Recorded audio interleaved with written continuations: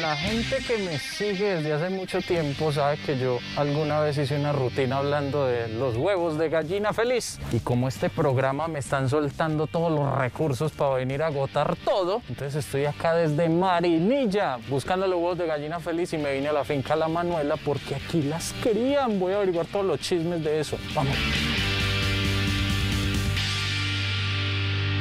Juan Pablo. Yo, Juan. Hola Frank, ¿cómo estás? ¿Bien o no? Bienvenido.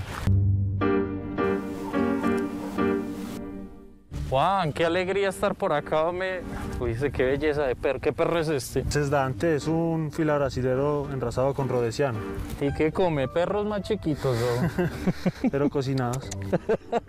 ¡Ay, cosa linda! Eh, Juan, como te diciendo, aquí no solo hay gallinas felices, el perrito también está como...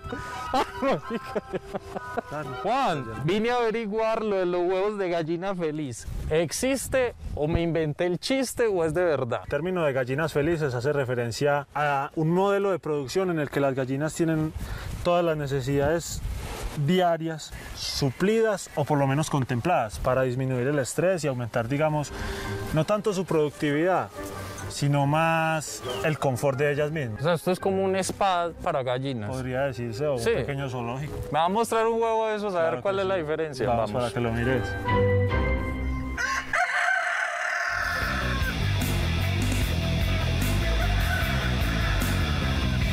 Son agresivas. Para nada.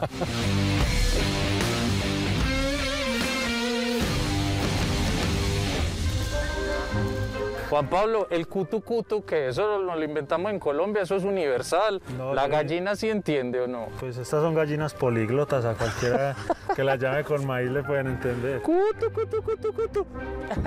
Parece que no lo estoy diciendo en el tono que es. Cutu, cutu, cutu, cutu. ¿Oíste? ¿Y por qué dice que son felices? O sea, Pues cuando vos ves una gallina que realmente están haciendo lo que debe hacer una gallina, ¿qué hace una gallina? Caminar por ahí, moverse para los lados. a vos las pones a trotar es para que el No. sancocho quede... Y Claro. una bu- necesito una buena pechuga Un y... sancochito de gallina sudada. Y se jubila, una gallina de estas... Pues se jubila en el sancocho. Ahí se le da la liquidación. Ese es el homenaje. Te portaste muy bien, vas con aguacate.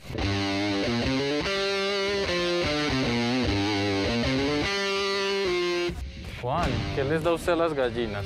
Bueno, Frank, nosotros les tenemos una dieta balanceada pues en- con, con- con concentrado comercial, pero pues de todas maneras a ellas les gusta que uno las consienta con granitos, con maíz. Es que esto es Disney para una gallina, ¿no? Pues yo creo que las tenemos viviendo. Hasta para mí, Juan, no me puede traer un fin de semana para acá. Yo en este, spa- en este lotecito me sentiría también muy feliz. Bienvenido, claro que sí.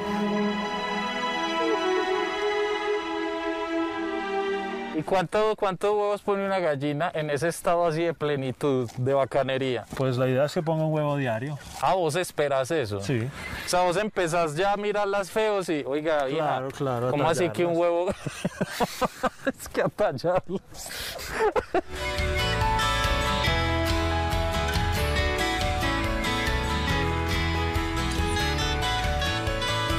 ¿Vos cuál es el impacto que ves de criar gallinas así como en ese ambiente tan bacano? No es solo que necesito yo, sino que necesitan ellos. Entonces, en la medida en la que yo les doy una buena vida a ellos, ellos me dan a mí pues también una buena vida, porque me pueden dar, digamos, alimento, o me pueden vestir, o me pueden dar, digamos, no, no tan directamente alimento o vestido, sino dinero para yo comprar alimento. Dijiste vestidas gallinas en pura y Yo no voy a hacer la chaqueta, suerte. Ah. Yo no soy chaqueta de nadie.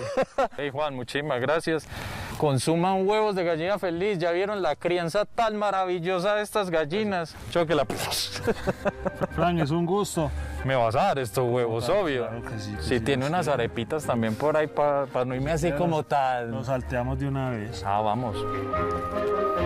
Gracias, Juan.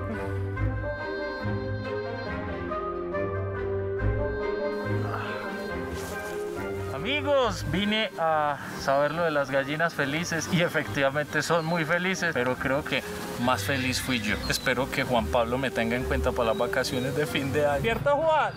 Así va a ser.